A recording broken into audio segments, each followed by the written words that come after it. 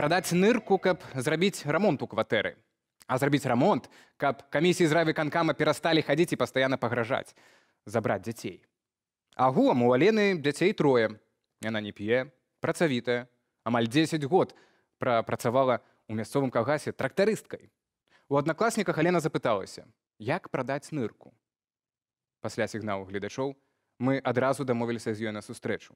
А ўжо на наступны дзень на парозе яе хаты з'явіўся старшыня райвыканкама. Але гэта быў толькі пачатак гісторыі.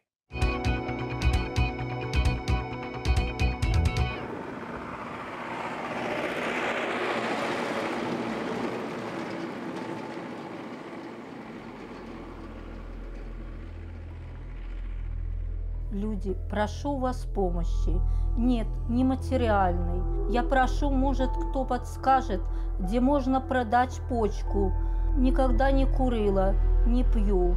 Веду здоровый образ жизни. Зовут меня Куколь Елена. Мне 47 лет. До сих пор совсем сама справлялась.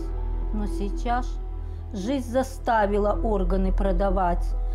И комиссия по делам несовершеннолетних 25 лет я воспитываю сына-инвалида. 25 лет никому не было дела, как я живу, где были органы опеки, когда я с тремя детьми осталась без жилья, без работы, без денег. Я живу на пособие по уходу. 25 лет никого не было, а сейчас прибежали. Да еще как прибежали.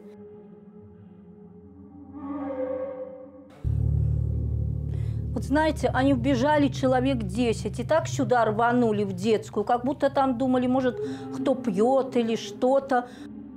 У меня всегда чисто, никто ни разу не сказал, что я там пью, гуляю, куру, или у меня грязно дома, или у меня есть нету. Ну, требуют, ну, чтобы у холодильнике было, и проводку поменять требуют, и окна поставить, и полы, чтобы поменяла. Ну, и она так сказала, вот здесь, стоя возле печки, общей фразой, что если я не исправлю, мне дадут штраф, если я не исправлю, не выплачу этот штраф, пойдет речь о лишении родительских прав. Ну, а так мне негде достать этих денег. Вот и приходится почку продавать матери инвалида, чтобы прожить наше время. Я знаю, что мне власти не помогут.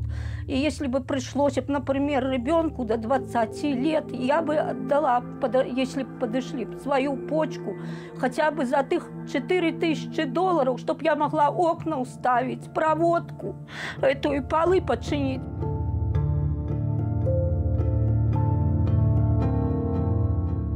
Ну, я как семью знаю, что Лена, она не пьянствуя, старается все для семьи, все время дети догледженные.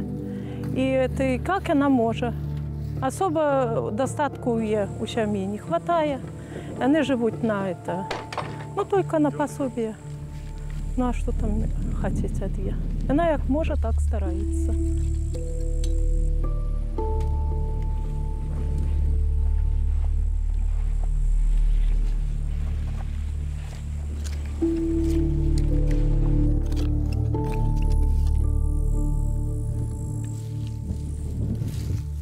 Году хорошая картошка. Обычно бывает года, что вообще плохая у людей.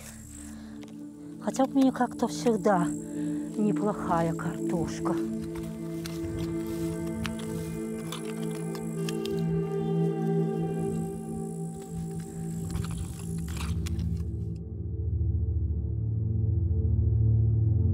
Ну, старший сын, ему 26 лет, он строитель по образованию. Русланчику у нас 25, ну а Вероничке 17, она студентка. Русланчик, кушать колбаску и котлеты вашные. Он их тоже обожает. Но я работала раньше трактористом, я мечтала с 6 лет, у меня отец был трактористом. Работала, пока не родила ну, первого ребенка, Дениса, сына. После него я еще немного работала, а уже как родила Руслана, уже было некогда. потому что по больницах я пять лет, месяц дома, месяц в больнице. Он до трех лет у меня не ходил, только в Ленинград, когда я его повезла в реабилитационный центр, он у меня в три года потом стал ходить. Муж, конечно, нашел молодую, красивую, сказал, что она мне полноценных нарожает. Растить было тяжело, потому что я осталась. Детям было 6-7 лет, когда я развелась с мужем. Пальчиком покажи, тыкни пальчиком, где твои фотографии. Ну, я стала добиваться, чтобы мне жилье дали, ну, где-то, ну, эти колхозное, все-таки я работала, но мне сказали, что жилье мне, ну, не, не светит. Шататься вот по домам нормальные люди не брали к себе переночевать, потому что он писается. Ну, не каждый человек это, как говорится. Я долго добивалась ну, жилья и у сельсовета, и у райсобес. И я уже настолько устала с этими де детьми по притонам, ходить. Вот тогда Пека мной не интересовалась, хотя я стучала во все двери, говорила, что только когда я приехала и сказала, что возле райсобеса поставлю палатку, пошла эта женщина, через 15 минут все уладила, все документы были подписаны, банк одобрил кредит, и я переехала в этот дом, где искрила проводка, текли потолки. Но я готова была даже в сарай переселиться,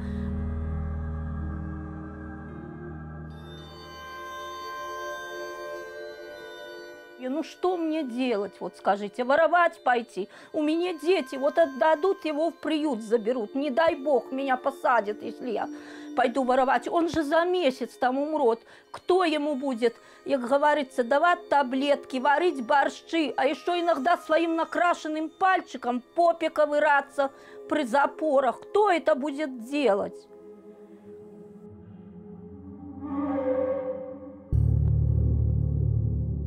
Но ну, когда я написала в комиссию президента, уже оказалось, что никто меня не лишает этих родительских прав.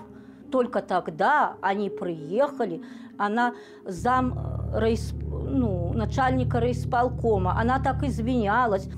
Так получилось, э, получились проблемы большие э, по причине человеческого фактора. Никогда не было проблем ни пожарной безопасности, ни, ни в быту, никогда не разбиваются спиртные напитки, всегда дома порядок.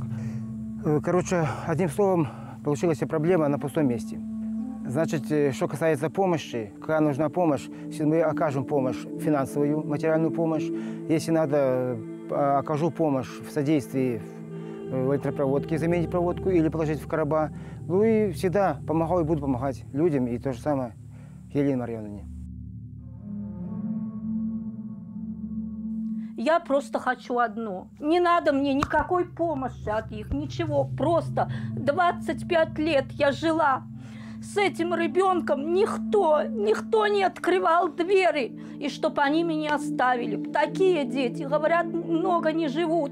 И вот сколько ему Богом отпущено, прошу, чтобы меня просто оставили в покое. Ни помощи, ничего, а дали этому ребеночку спокойно дожить, сколько ему Богом отпущено. Чтобы не лезли. Ну не могут они мне помочь, ну пусть и от меня не требуют.